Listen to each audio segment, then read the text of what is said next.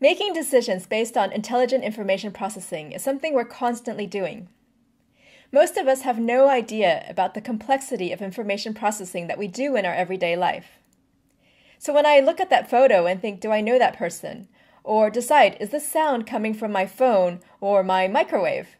Or what are the sequence of muscle movements that I need in order to pour this glass of champagne? These are all situations that require highly complex information processing. And we use this information processing to make future decisions. Here, when I say decisions, I don't necessarily mean a conscious decision. Knowing the sequence of muscle movements that I need in order to pour a drink or get up from a chair. These are not conscious decisions, but they are choices that I'm making at each moment in time. In fact, it's usually the things that we do without thinking that are the most difficult from an information processing point of view.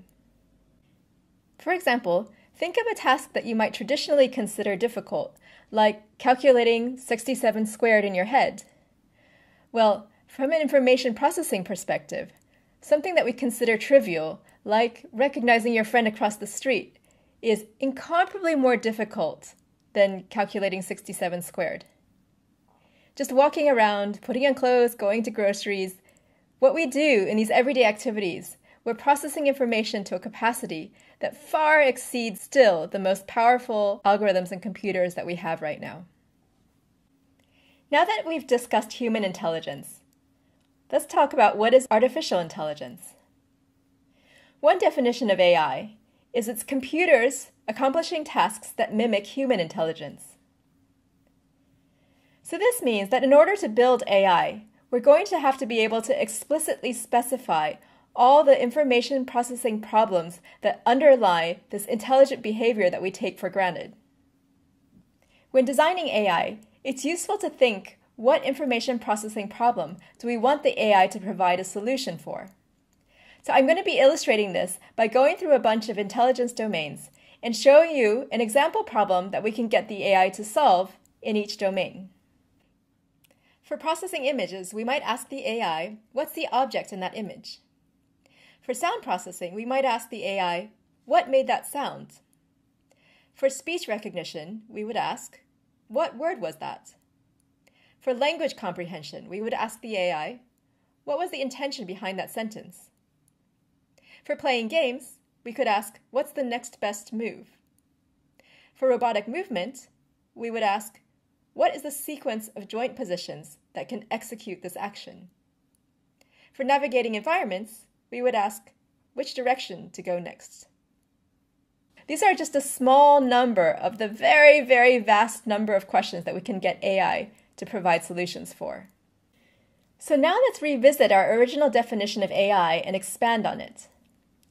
Originally, we had said AI was tasks requiring human intelligence being accomplished by machines. I'd like to expand on this by describing AI as a model that maps inputs to solutions that can generate intelligent behavior. Here I'd like to add that this mapping from input to output can happen on vastly different timescales. For example, for a robotic arm, each millisecond the AI is taking in new input representing the environment and outputting a new position for the position of the robotic joints. In contrast, at the other end of the input output timescale would be something like supply chain analysis. This analyzes the process of taking raw materials to finished products. A supply chain model might take in as input all the different data involving all the different factors such as warehouse, managers, logistics, weather, product, and so on. Supply chain analysis is extremely data intensive. It easily uses hundreds of terabytes of data. The model will simulate how the different components of data all might affect each other under different conditions, and then take all day to process this information before it gives a single output for the estimated cost of a shipment. One more thing I'd like to add is that the outputs AI produces are usually considered predictions, because the tasks that we consider intelligent are usually so complicated that the models don't have certainty about what the actual answer is. Also, the world is always changing, and we're never completely sure that the future is going to behave like the past. What is the relationship between AI, machine learning, and deep learning? These are all forms of AI, which means they are all models of how inputs map to an output that is some solution to an information processing problem. A model maps inputs to outputs by receiving some numerical representation of inputs and applying some computational algorithm to this input in order to produce an output. For example, if we wanted to model an AI doctor that finds the correct dosage for medicine, we would take input describing patient information.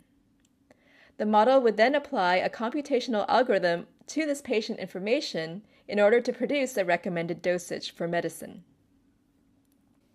In traditional AI, the computational algorithm would be fully specified beforehand.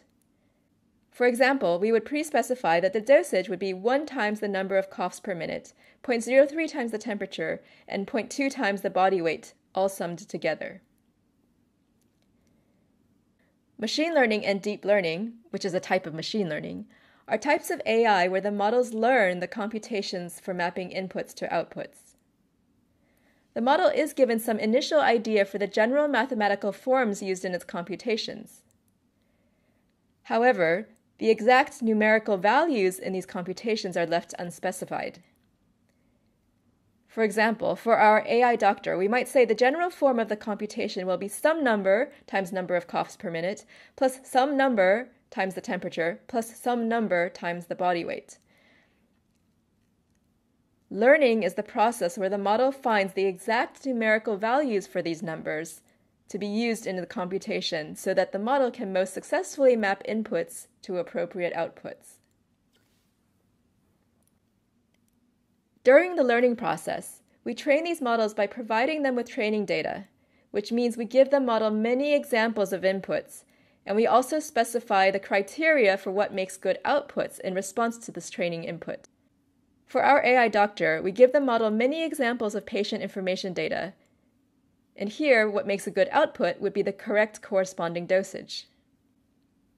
The model would then use a learning algorithm to find the exact number for each of the multipliers specified in the mathematical form that we had said the computation would take. The model would then find, for example, that you need to multiply the number of coughs by 1, you need to multiply the temperature by 0.03, and the weight by 0.2, and these values would be learned from the data. Models need to not just produce accurate outputs for its training data that it's already seen, but also models need to be able to extrapolate from the training examples to produce appropriate outputs for new inputs that it's never seen before. Deep learning is a type of machine learning where the computations are in the form of a neural network. A neural network is a type of model composed of many individual computing units, also known as neurons. Each neuron applies very simple computations to its inputs, involving just multiplying, adding, and passing sums through simple filters.